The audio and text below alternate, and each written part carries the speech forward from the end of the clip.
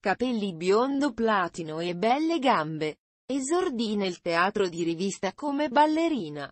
A 18 anni fu la soubrette di Amore biondo con Walter Chiari. In seguito apparve in spettacoli di Wanda Osiris, Galanteria, di Erminio Macario, Follie di Amleto, Votate Venere, e Ugo Tognazzi, Paradiso per tutti. Come attrice venne scoperta da Garinei e Giovannini.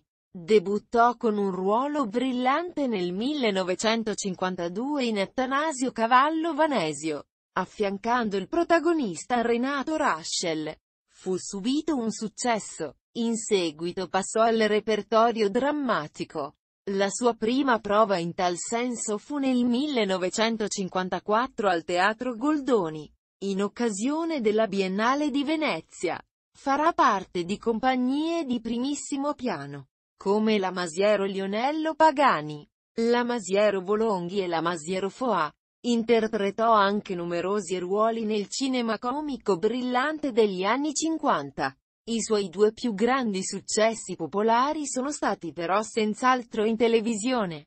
La conduzione di Canzonissima, 1960, e il ruolo da protagonista nello sceneggiato Le avventure di Laura Storm, 1965-1966, serie rivoluzionaria, per l'epoca, che la vedeva protagonista nei panni di una sorta di tenente Sheridan in gonnella. Fu per qualche tempo compagna di Johnny Dorelli, dal quale nel 1967 ebbe un figlio. Gianluca Guidi. Lauretta Masiero scomparve il 23 marzo 2010, all'età di 82 anni, in una clinica romana dopo un lungo ricovero, a causa dell'aggravarsi della malattia di Alzheimer. Le sue ceneri riposano al cimitero di San Michele.